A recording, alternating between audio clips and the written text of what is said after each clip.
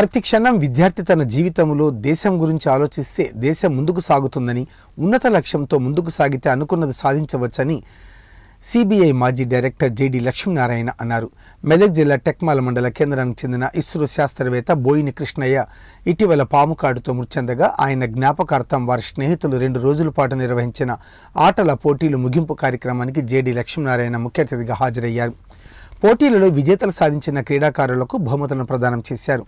ఈ సందర్భంగా ఏర్పాటు చేసిన సమావేశంలో ఆయన మాట్లాడుతూ గ్రామీణ స్థాయిలోనే ఆనిముత్యాలు లభిస్తారని ఇస్రో శాస్త్రవేత్త బోయిని కృష్ణయ్య గ్రామీణ స్థాయి నుంచి దేశ రక్షణ కోసం ముందుకు సాగారని ఆయన గుర్తు చేశారు. ఆయనను స్ఫూర్తిగా తీసుకొని ప్రతి విద్యార్థి ముందుకు సాగాలని పిలుపునిచ్చారు. ఈ కార్యక్రమంలో డిఈఓ రమేష్ కుమార్ సుభాష్ ఎంపీపీ చింతా స్వప్న రవి గ్రామ సర్పంచ్ సుప్రజ భాస్కర్ తదితరులు ఇందులో పాల్గొన్నారు. ఎందుకంటే దేశ చరిత్ర ఎప్పుడూ కూడా ప్రదేశాల వల్ల రాదు.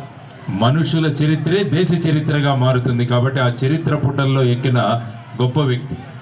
భగవంతుడు మనల్ని పుట్టించినప్పుడు మనతో పాటు ఒక పేపర్ కూడా మన చేతికి ఇస్తాడు. ఒక తెల్ల కాగితం మన చేతిలోకి ఇస్తాడు. ఆ తెల్ల కాగితం మీద ఏమేమి రాస్తున్నాం అన్నది చాలా ముఖ్యం. ఆ తెల్ల కాగితం మీద దేశానికి ఉపయోగపడే పనులు చేస్తే ఆ కాగితం ఒక గొప్ప వ్యక్తిగా మారుతుంది కాబట్టి మనం కూడా ఇదే గమనించుకోవాలి. మనం పుట్టినప్పుడు మనం వెంబడి మనం కూడా ఒక తెల్ల కాగితం తీసుకొని వస్తాం.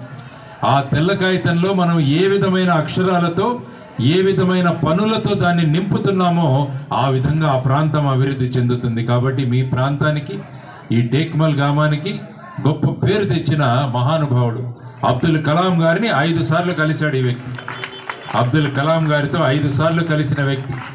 శివన్ గారు అని మనకు తెలుసు మనం ఇస్రో చైర్మన్గా పనిచేశాను ఆయన టీంలో పనిచేసిన వ్యక్తి బోయిన కిష్టయ్య గారు. ఇవన్నీ చెప్పుకుంటూ పోతుంటే కొన్ని గంటల సమయం కావాల్సి వస్తుంది. ముఖ్యంగా వారి మిత్ర బృందానికి నేను అభినందనలు తెలియజేస్తున్నాను ఎందుకంటే ఇరవై రెండు నవంబర్ ఇంకా ఒక నెల కూడా కలగదు పదిహేను రోజుల ముందు ఆ వ్యక్తి పోయాడు మన దగ్గర నుంచి. కానీ ఆయన జ్ఞాపకార్థం ఖచ్చితంగా మా ఊరిలో ప్రజలు ఈ వ్యక్తి యొక్క కథ చదివి ఈ వ్యక్తి యొక్క గొప్పతనం తెలుసుకొని వాళ్ళు కూడా ఆ విధంగా మారాలి అని చెప్పిన ఒక గొప్ప సదుద్దేశంతో వాళ్ళు ఈ అద్భుతమైన కార్యక్రమాన్ని నిర్వహించారు. ముఖ్యంగా వారందరికీ కూడా నేను అభినందనలు తెలియజేస్తున్నాను. ముఖ్యంగా మా మిత్రుడు ప్రసాద్ మొన్న వచ్చి